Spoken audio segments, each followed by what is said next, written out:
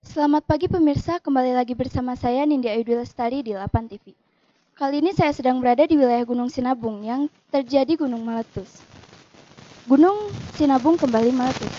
Gunung Sinabung tepatnya di Kabupaten Karo, Sumatera Utara kembali meletus pada pukul 12 waktu Indonesia Barat.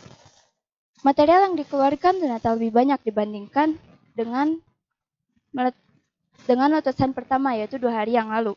Letusan kali ini letusan kali ini memuntahkan material berupa asap hitam yang lebih tebal. Asap yang bercampur abu vulkanik itu membumbung tinggi ke udara.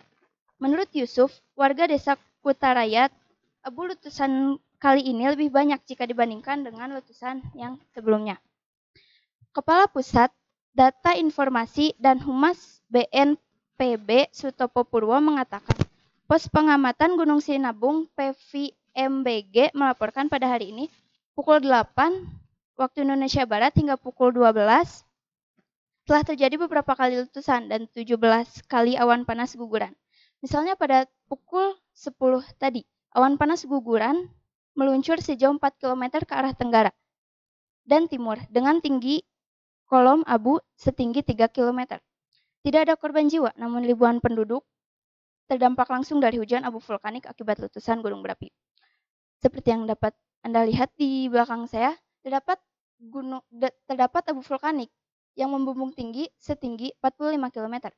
Nah, pemerintah menghimbau kepada masyarakat sekitar Gunung Sinabung untuk segera mengungsi ke tempat yang lebih aman dan segera mencari tempat yang lebih aman daripada Sekian informasi yang dapat saya sampaikan. Gunung Sinabung, Nindya Dwi Lestari dari Lepan TV melaporkan.